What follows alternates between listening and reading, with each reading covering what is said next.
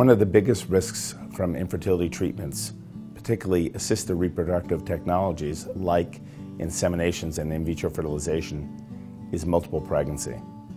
The risk of twins can occur in up to 30% of pregnancies that result from assisted reproductive technologies. Multiple pregnancy is not always a desired outcome. Twin pregnancies are generally safe and generally go very well. However, there is an increased risk as compared to single pregnancies of premature labor that can result in damage to the fetus, including to the fetal lungs, to the fetal eyes, and to the fetal brain. Also, premature deliveries can result in significant immaturity of lung function, causing the baby to require a respirator at the time of birth. It is important to minimize the risks of multiple pregnancy.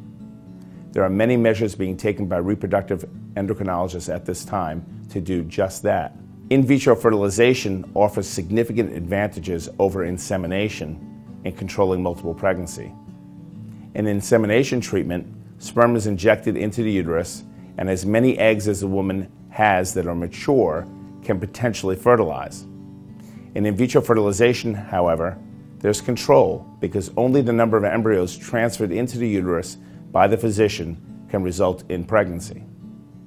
Even if we transfer two embryos into a woman at the time of embryo transfer, there's still approximately a 2 out of 3 chance, or even higher, that only one will take if pregnancy occurs. However, we try to minimize the risks by being very careful about the number of embryos to transfer. In women who are younger, we transfer less embryos, even sometimes just a single embryo.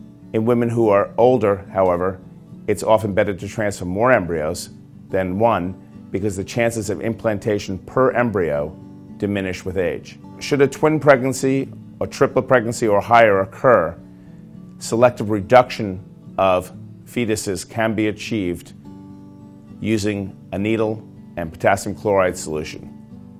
However, this process is often emotionally and physically difficult for couples and should be avoided by taking good care to consider the risks of multiple pregnancy in every therapy and being certain to know when to transfer more than one embryo.